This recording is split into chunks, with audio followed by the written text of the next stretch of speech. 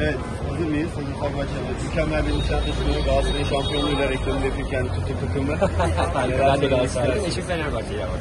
Selamlar. Neler yapıyorsunuz çok kısa konuşalım. Valla hazırlık yapıyoruz. Yaz geliyor. Konserlere hazırlık var. Ee, güzel bir çalışmaya hazırlık yapıyoruz.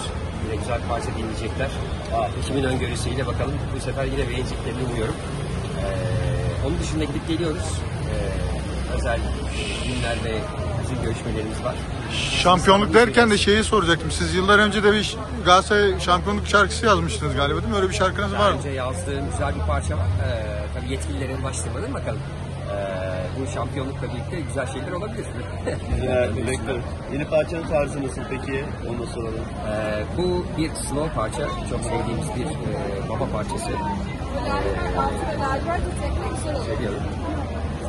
Ha, Sürpriz olsun dedi. Doğru. Ee, ama sevileceğini düşünüyorum. Sevilen bir parça zaten. Benden beklenmeyen bir tarz olduğu için e, sürprizin güzel tarafı da o.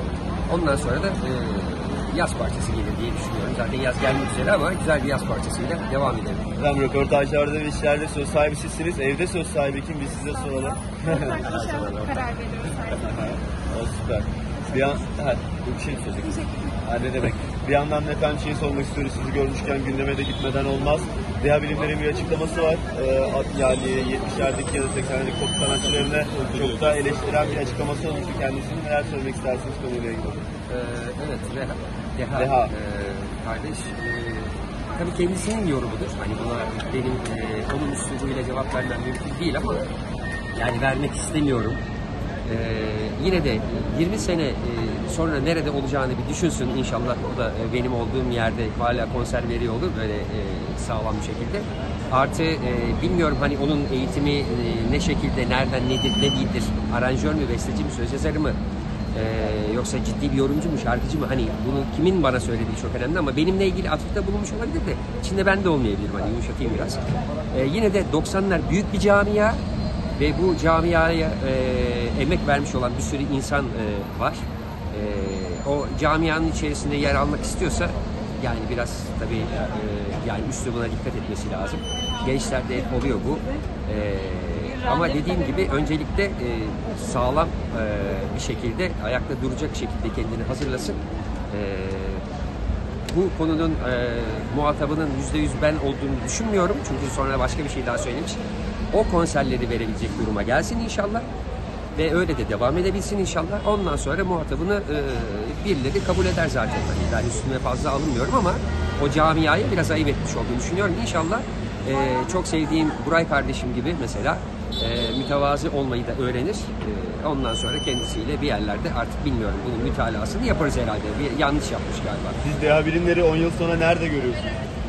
Bilmiyorum önce olsun da olmamış olan birini nerede görüyorsun diye bir şey söylemek biraz abesle iştigal olur.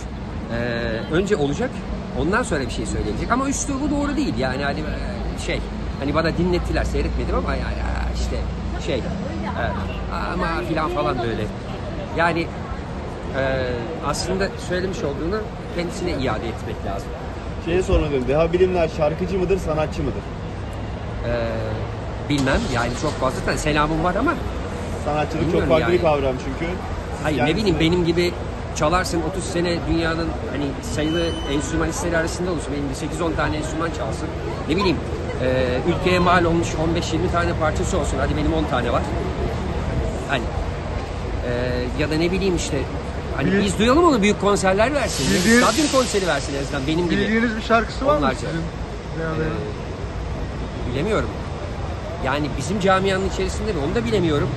Şimdi öyle yüzlerce genç kardeşim var yani onlardan her birinin söylediği şeye biz cevap verirsek yanmışız zaten.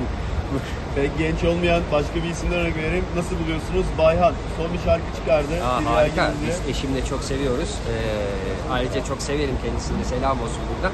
Çok güzel yorum. Bak yorumcu olmak öyle bir şey işte. Hani e, bu hakikaten. ya beğenmeyenler için bilmiyorum kendi fikirleri olabilir. Biz mesela zevkle dinliyoruz. Hem e, söylediği iki parçayı dinledim hem de kendisini biliyorum. E, karakter, kişilik ve verdiği cevaplarla bence on numara. Ee, yeni eski parça, eski tarzıyla yeni tarzında çok fazla bir değişiklik de görmediler. Aslında özünü korumak da önemli mi bir Ama yine de yani klipteki tarz mesela bir tane klip gördüm. Tarzda Ee, bir kere zaten yorumcu olmak çok özel bir şey. Şarkı söylemek başka bir şey, yorumcu olmak başka bir şey. Herkes şarkı söyleyebilir. Bunda bir kısıtlama yok. Yani biz biraz evvel de bir kardeşimi andık. Yani onun gibi binlerce e, işte kıyıda, köşede, barda, e, büyük yerlerde şarkı söyleyen insanlar var. 50 50 kişi ya da e, 100 kişiye şarkı söyleyebilirsin. Ama dediğim gibi hani stadyum konseri ver benim gibi 30-40 tane. E, biletli konserler ver ya da de- hani, hani açık alan konseri dediğimiz konserler harici. E, ondan sonra konuşalım bunları. Bir de öyle de bir durum var. Yani hani Şeyi de sormak istiyorum. Şimdi Merve Bolur da Serdar Ortaç'tan parça almış. Merve Bolur şarkıcı mıdır, olur mu olmaz mı kendisi? Oyuncu Bu- Merve Şimdi Bolu. e, şöyle herkes istediği şekilde şarkı söyleyebilir. Şimdi ben onları da çok seviyorum. E, kimseye kırıcı olmak doğru bir şey değil. Aynı camianın içerisindeyiz. E, güzel söyleyen çok güzel söylüyor. Söyleyemeyeni de herkes takdir ediyor ama söylemek istemiş olması da güzel bir e, anlam taşıyor. E, yollarında başarılar diliyorum. Öyle olmak istiyorlar. Bir gün olurlar illaki. Olmayan bile. Ya olsunlar bence de. Güzel bir şey. Çok seslilik iyidir. Çok renk iyidir. Biz de merakla bekliyoruz. Var Renk derken sizi de beyazlar içinde gördük efendim. En asil renktir. En karizmatik renk siyah, en asil renk beyaz. Yanımda bir melek taşıyorum her zaman.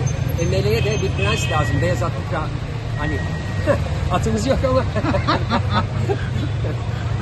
Varlığınız yeter efendim. Var mı sorun? Çok teşekkür Teşekkür ederiz. Teşekkürler. Çok sağ olun. Biz teşekkür ederiz.